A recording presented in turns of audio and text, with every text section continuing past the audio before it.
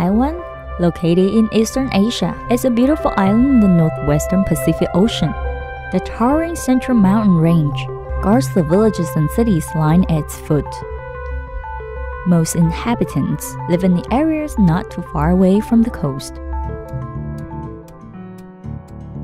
Kuroshio current flows along seas in the Pacific Ocean. Taiwan Strait on its west is where cold and warm currents meet. All that provides the diverse ecological environment and rich ocean resources, which are favorable to fisheries development.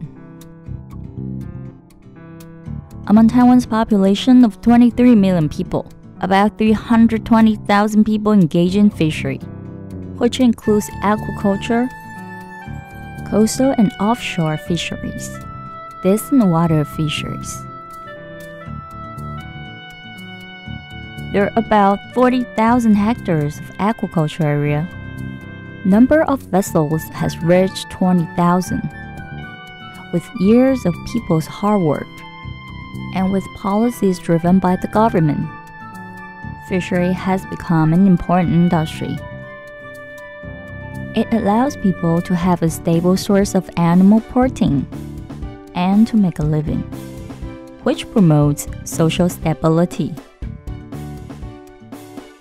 Total fish production now is about 1 million tons, with the total production value of 90 billion NT dollars. In which coastal and offshore fisheries make up 17%. Distant water fishery makes up 44%. Aqua farming makes up 39%. Making Taiwan one of the important fishery countries in the world. In Taiwan, Council of Agriculture is the decision-making authority for fishery policies, and Fisheries Agency is the highest administrative agency and responsible for policy planning. In each local government, there are fishery departments for management and outreach. As for fishermen's organization, there are one national and other 39 fishermen's associations in 22 places. Under the council, there is a fisheries research institute with six branches.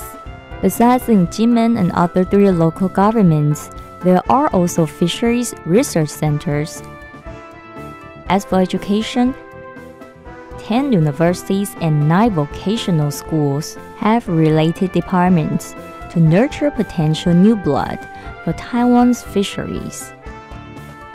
The agency builds a deep sea fishery research center, undertaking safety training for fishing crews, works with education organizations, provides capacity building training for crew officers, to improve overall quality of fishery and maritime safety. In addition, under Fishery Agency, there's a fishery radio station aiming at fishery development, dissemination of related news, providing service to all fishermen. There are various landforms along the coastline of Taiwan. In development of fisheries, the government has constructed more than 200 fishing ports on the main island and other offshore islands. Their locations and geographic environments vary. Each port has different fishery and function.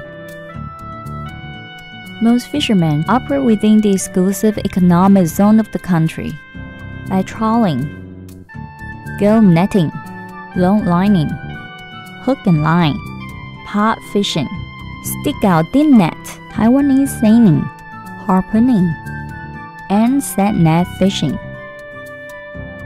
In order to catch various kinds of fish and demersal species like shrimps, crabs, shellfish, and snails, they serve as fresh seafood for local consumers, and some can be made into sea products for export to global markets, such as mullet roe sakura shrimp, fish floss, canned seafood, and other sea products. All of these are best choices for gifts.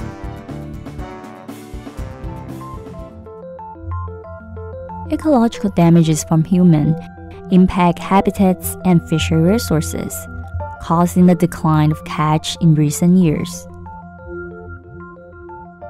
Therefore, action must be taken to preserve fishery resources. We've established conservation areas at proper locations. Launch artificial reefs. Cultivate and release seeds of fish, shellfish, and corals. We've also started Ocean Day campaign, beach cleaning, and educational propaganda. Helped to organize marine environment protection fleets for cleaning marine debris and protecting the environment of habitats.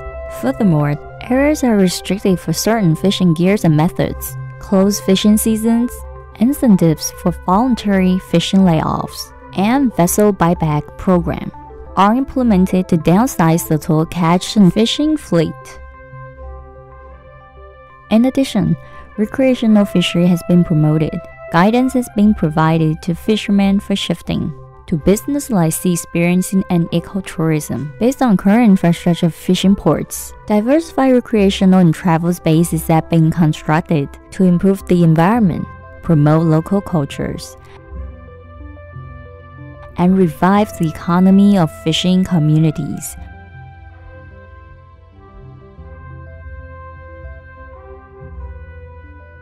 With the development of Taiwan's fishery in the past century, the technique and scale had become matured with the need of domestic demand and economic development. Taiwan's fishing vessels began to sail far away, even to three major oceans in the world,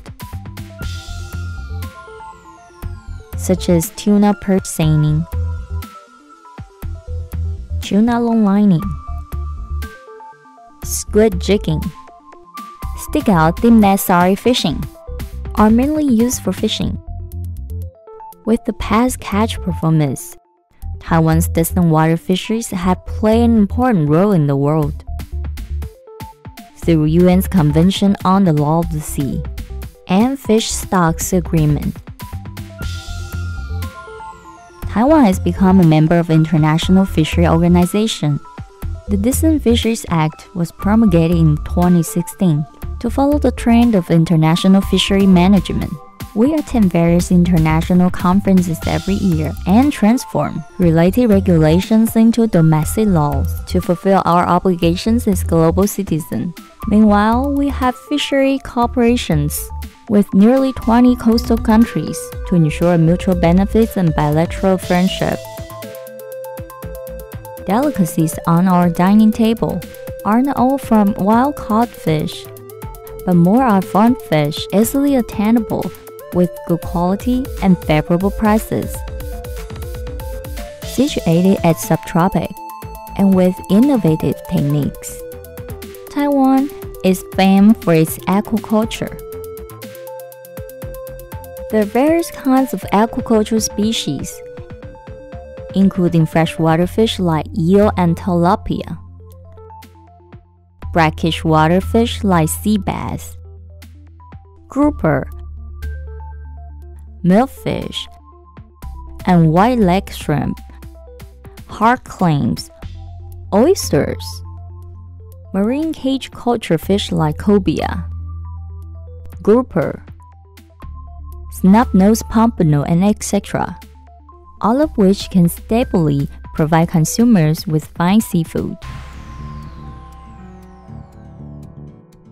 With limited land and water resources, and population aging. Taiwan is now promoting eco friendly fish farming, facility based, and innovative aquaculture for further development, such as the farming of cold water fish and shellfish with innovative technology,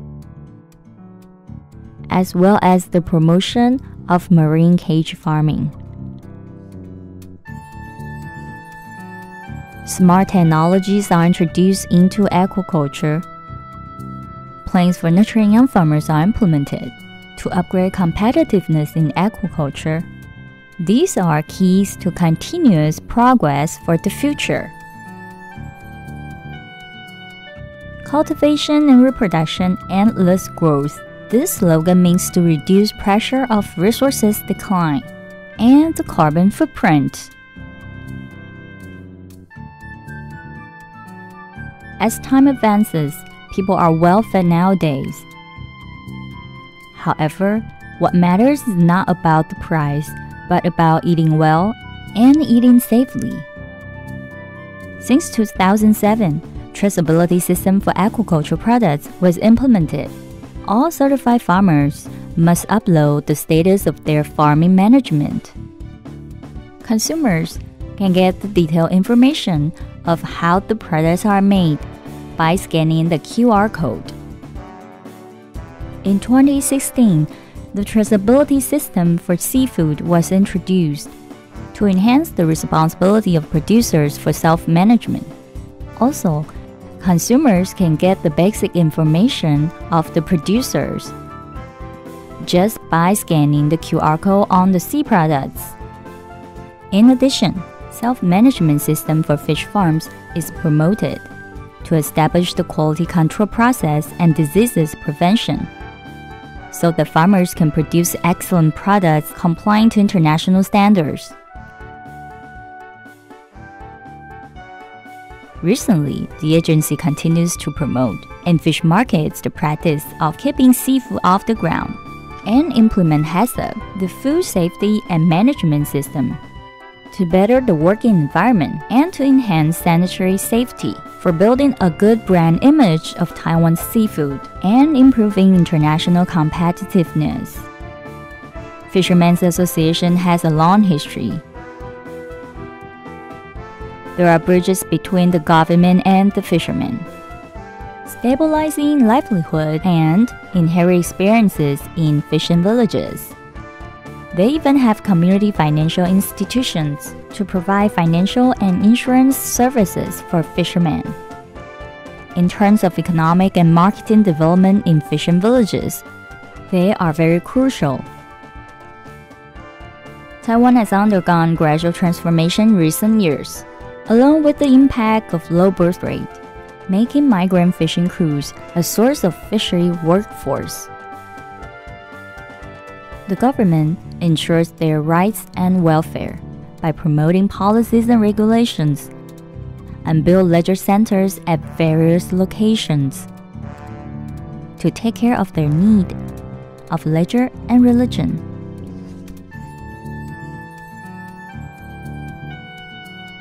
Also in Taiwan, there are many coastal radio stations to provide rescue and contact their families in case of emergency.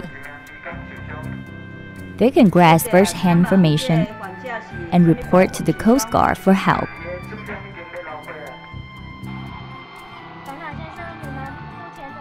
When efforts have turned into catch and all the hard work has been made, we should be more responsible of fishery management to assure sustainability of marine resources.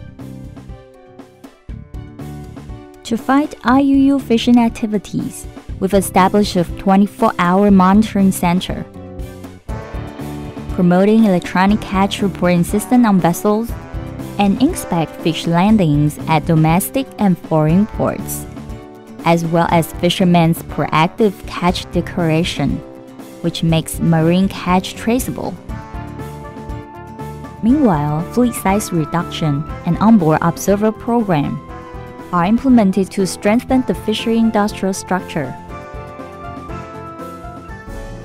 Fishery is an important industry. Many people earn their living by fishing. To ensure long-term fishery development, we continue the work of conservation and management of marine fishery resources, and build an eco-friendly aquaculture industry. Pursuing sustainable fisheries and harmony with nature. For future prospects, the government will keep sticking to its beliefs with firm steps and lead fishery to a better future with new horizon to fulfill visions of happy fishermen, safe fishery, and wealthy fishing villages.